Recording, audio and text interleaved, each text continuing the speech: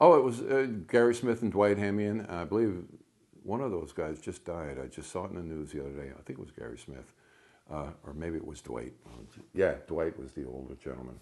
Uh, they were two American producers, and it was very, very nice. You know, we went out to, I believe it was Elstree, for quite a period of time, and we did a lot of live recording, which was great because we'd just done this stuff in the studio. We'd been working it up to, to, to do it live on tour.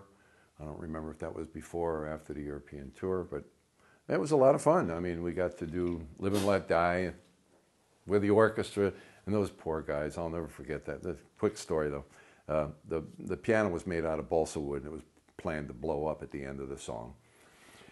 And we're all standing and my drums are on, you know, the piano and Paul sat way back at it, although it looked like he was sitting there playing, but he knew it was going to be a pretty big explosion. And these guys behind us, the violins, you know, all these bold uh, bold, bald guys with their Stradivariuses, they had no idea that this thing was going to make this big explosion.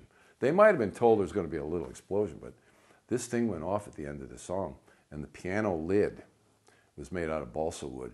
It was a ball of flames that just went over their heads in slow motion, man. These guys were holding on to their wigs and their fiddles. It was it was pretty serious. the European tour, there was a lot of Wings fans, and uh, you know they'd, they'd request like the damnedest songs, "I Am Your Singer" and stuff, you know, in a German accent. You hear something, but you know we'd we'd got to be known as a band, and that last tour, the British uh, proper British tour that we did was uh, that was a, we were a pretty good representation of what a band's supposed to be.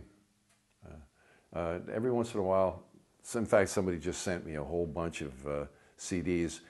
Every show that we did, the European tour and the British tour, they got board mixes from them. I don't know how they do this, but so one of these days, when, it, when it's raining and I got a whole day free or something, I'll sit down and listen to them. But I'm sure they won't be as good as I remember them. But uh, it was a fun time.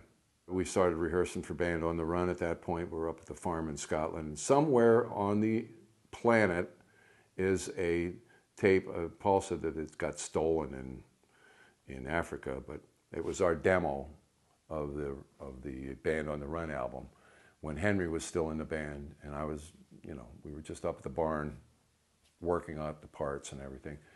And one day, uh, they had a two track running most of the time, and it was it was good. It was really good. I mean, I think it was much better than the record because I was playing drums too. But I love the way Paul plays drums.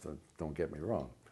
But uh, yeah, it was. I, I'd, I'd I'd pay anything to to hear that one of those. Uh, whoever has a copy of that tape. You know, so if there's any fans out there that really want to make me happy, find that and send it to me.